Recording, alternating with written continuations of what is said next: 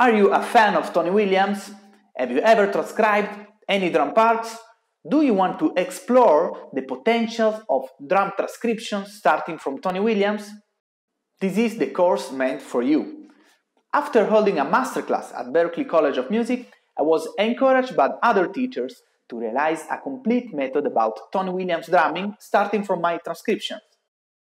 The course is divided in three chapters walking comping, walking solo, and limbo. For each one of those, you will find this exercises, transcription, video of me playing normal tempo, medium tempo, and slow tempo, and even me playing all the exercises, and also some audio samples. Practicing on Tony Williams helped me so much to become a much more versatile drummer, and I'm sure that this will be the same for you.